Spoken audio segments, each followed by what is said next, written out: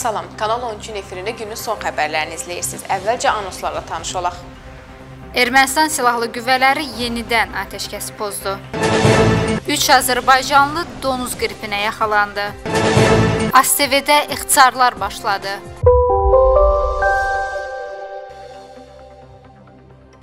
Müdafiə Nazirliyindən verilən məlumata görə Ermənistan silahlı qüvvələrinin bölmələri cəbhənin müxtəlif istiqamətlərində sutka ərzində atəşkəs rejimini 29 dəfə pozub.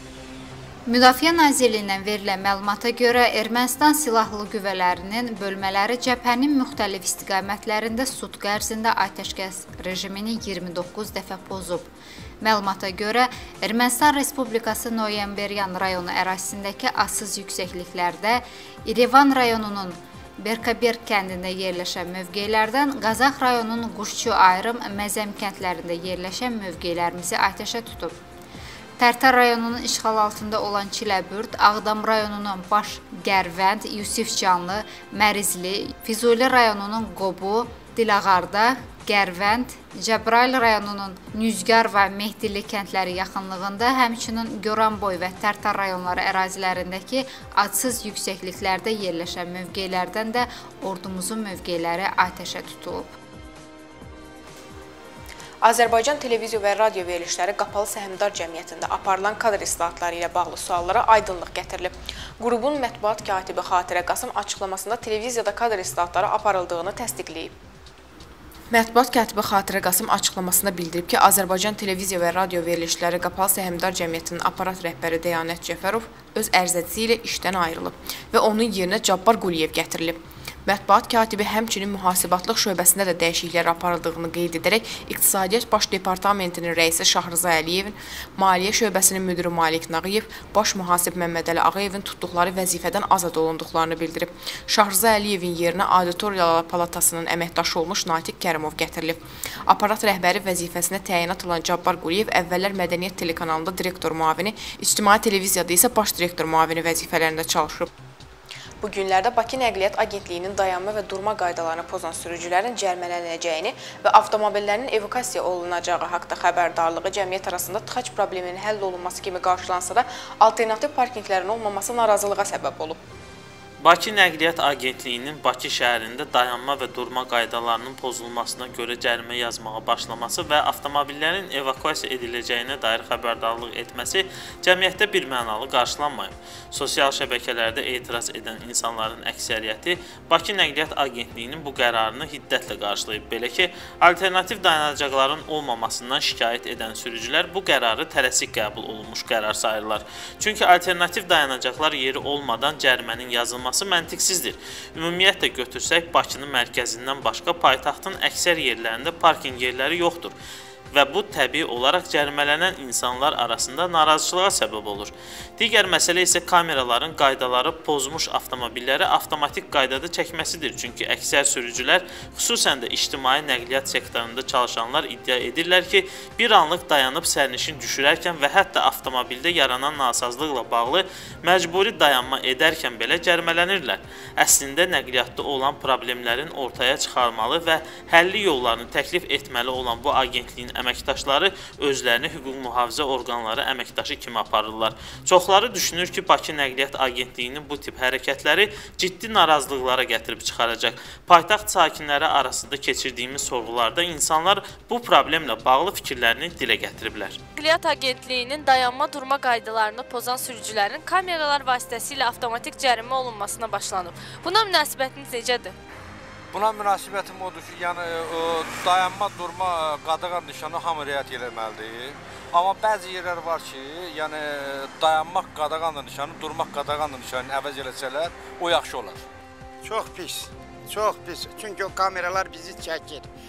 Biz harda dayanaq çörək qazanaq. Taksi fəaliyyəti ilə məşğuluq. Neyniyək bəs? Gedək harda dayanaq? Hə, Bakı şəhərinin hər yeri kameradır. Yəni bu kameradan, bu çəkən kameradan Bakı şəhərinin hər yerinə quraşdırıblar. Və cəmaət harda dayansın? Çox pis, həddindən artıq pis.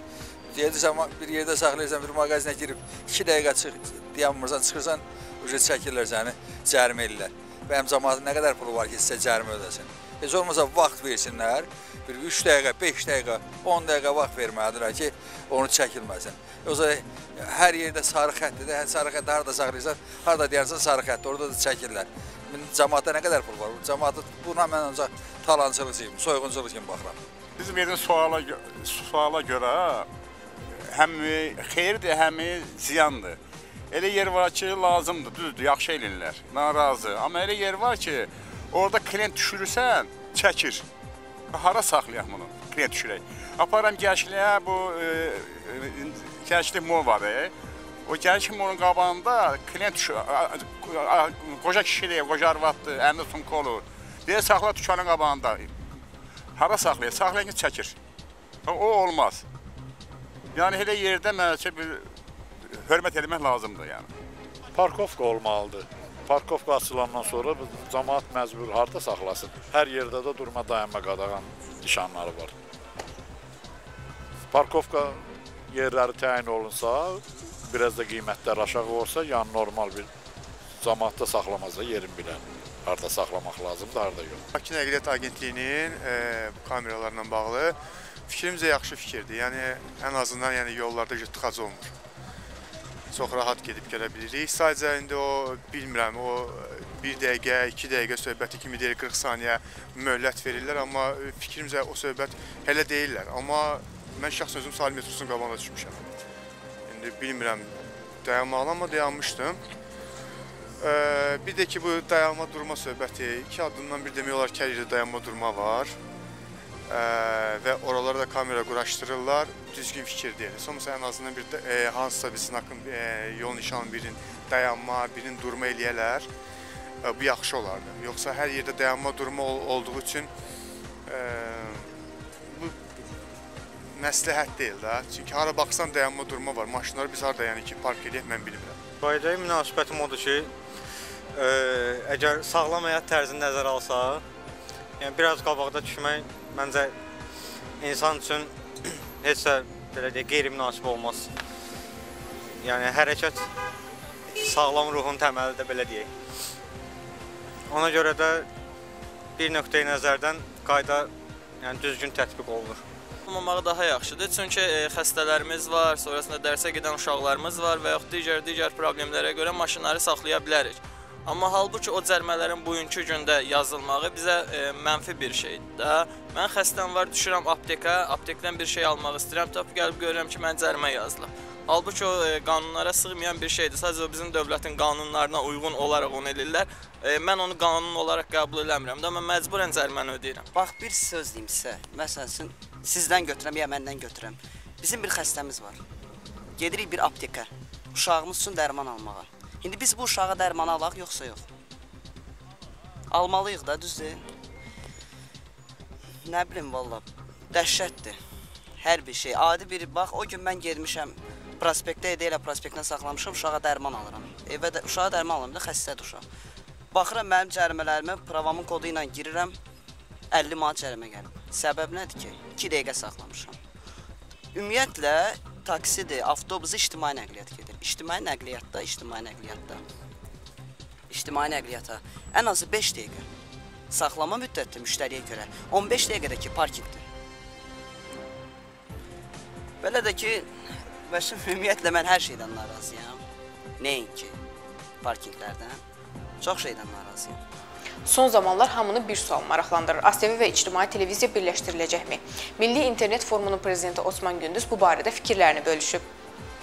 Milli İnternet Forumunun prezidenti Osman Gündüz ASTV və İctimai Televiziyanın birləşdiriləcəyi ilə bağlı fikirlərə münasibət bildirib. O deyib ki, təəssüf ki, İctimai Televiziya hələlik gözləntiləri doğrultmayıb. İctimai Televiziyanın qızıl dövrünü indiyədək nəinki qaytarmaq, heç yaxınlaşmaq mümkün olmayıb. O deyib ki, ASTV və İctimai Televiziyanın birləşdiriləcəyi ilə bağlı fikirlər səslənir.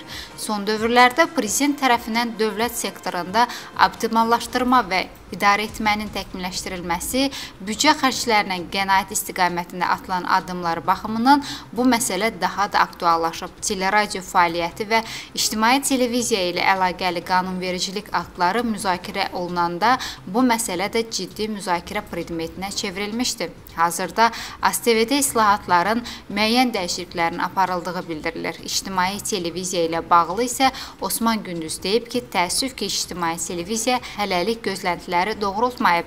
Yeni rəhbərlik gələndən Yayım Şurası yenilənəndən sonra sadəcə xəbərlər proqramına və studiyalara biraz əl gəzirilib.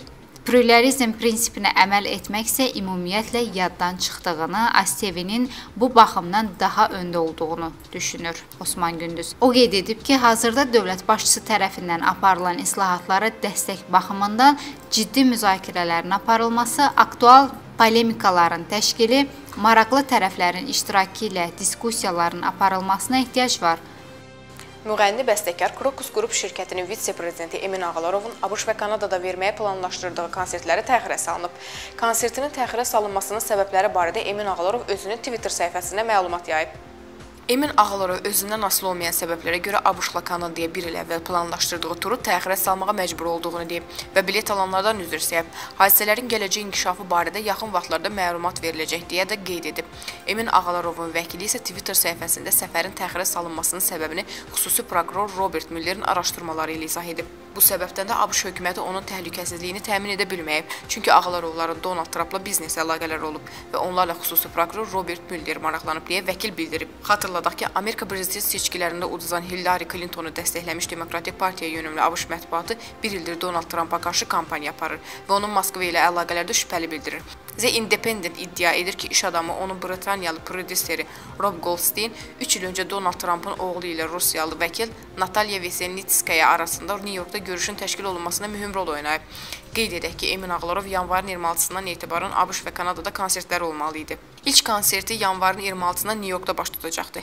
Emin Ağlarov xüsusi prokuror Robert Müller ilə razılığa gələ bilmədiyindən səfər təxirə salınıb. Robert Müllerin ofisindən məsələyə aydınlıq gətirməkdən imtina edilib. Emin Ağlarovun vəkili Scott Balber deyib ki, Müllerlə aparılan danışıqlar ötən həftənin sonunda dalana dirənib. Venezuelada hökumət əleyhinə etiraz aksiyaları şiddətlənir. Artıq ordu ilə aksiya iştirakçıları arasında qanlı toqquşma qeydə alınıb.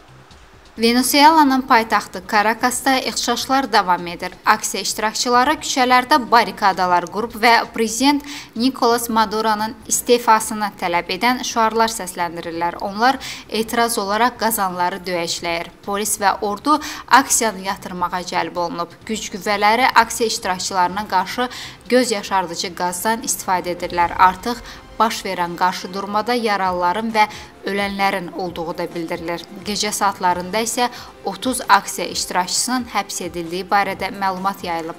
Bu gün paytaxt Karakasda güclü qarşıdurmanın baş verəcəyi gözlənilir. Venezuela parlamentində müxalifətin lideri Juan Guaido xalqı ölkə başçısına və onun tərəfdarlarına etiraz etmək üçün küçələrə çıxmağa dəvət edib. ABŞ-ın vitse-prezidenti Mike Pence Venezuela xalqına xitabən yayımladığı videoda Latın Amerikası ölkəsində demokratiyanın yenidən təsis edilməsi üçün ölkəsinin sarsılmaz dəstək verdiyini söyləyib. Venezuela prezidenti Nicolas Maduro-nu diktator adlandırıb. Venezuela prezidenti isə vitse-prezidentin bu bəyanatından sonra ABŞ-la diplomatik münasibətləri kəsəcəyini bəyan edib. Bununla bağlı Venezuela prezidenti Xarici İşlər Nazirliyinə xüsusi göstəriş verib. Mən Venezuelanın Xarici İşlər Nazirliyinin rəhbərliyinə ABŞ-la bağlı bütün münasibətlərə baxmağa və siyasi tədbirlər görmək barədə göstəriş verdim deyə Maduro bildirib. Venezuela prezidentinin bu addımı ABŞ-ın vitse-prezidenti Mike Pence-in müxalifət lideri Juan Guidonu dəstəkləməsi və Maduronu diktator adlandırması və ölkədə qanuni hakimiyyətə sahib olmaması barədə işlətdiyi ifadədən sonra atıb. Donuz qripi Gürcüstanı cəngir almağa davam edir. Daha 3 nəfər virusa yoluxub və xəstəxanaya yerləşdirilib. Xəstəxanaya yerləşdirilənlərin milliyyətcə Azərbaycanlı olduğu deyilir. Gürcüstanın Marnaoli rayonunda donuz qripi adlandırılan H1N1 virusuna yoluxmuş 3 nəfər Azərbaycanlı reanimasiya şöbəsinə yerləşdirilib. Bir Azərbaycanlının vəziyyəti ağır, digərininki isə stabil qiymətləndirilir. Xatırladaq ki, bu günə qədər Gürcüstanda 19 nəfər donuz qripindən ölüb. Hazırda qonşu ölkənin xəstəxanalarında 750-yə yaxın insan qrip virusundan müalicə olunur. Ölkədə 100 min nəfər sakinə 251 yoluxma halı düşür. Həbsdə olan bloger Mehman Hüseynova dəstək olaraq aclıq edən bəzi siyasi məhbuslar yanvarın 23-dən aksiyanı dayandırıblar. Həbsdə olan siyasi məhbuslar aclıq aksiyasını dayandırıb. Bunu hazırda həbsdə olan gənc fəallardan Gəz İbrahimovun anası Şura Əmraslanova bildirib. Onun sözlərinə görə Gəz İbrahimov, Bayram Məmmədov və Əhsən Nuruzadə yanvarın 23-də qida qəbul etməyə başlayıblar. Həmin fəallardan başqa İlkin Rüstəmzadə və Elçin İsmayılının da aclıq aksiyası keçirdiyi bildirilirdi. İlkin Rüstəmzadənin yaxınları isə fəalların hamısının həbsdə aclıq aksiyasını dayandırıb yayındırdıqlarını bildiriblər. Ancaq acılıq aksiyası keçirilməsi ilə bağlı deyilənləri penitensiar xidmətdən təsdiq etməmişlər. Qurumun ictimaiyyətlə əlaqələr şöbəsinin rəisi Mehman Sadıqov bir neçə dəfə bildirmişdi ki, heç kim təcridxanada və cəza çəkmə müəssisəsində acılıq aksiyası keçirmir. Azərbaycanda yeni dövlət agentliyi yaradılacaq. Bu prezident İlham Əliyevin imzaladığı ixracın və investisiyaların təşviqi sahəsində də idarəetmənin daha da təkmilləşdirilməsi haqqında fərmanda əksini tapıb.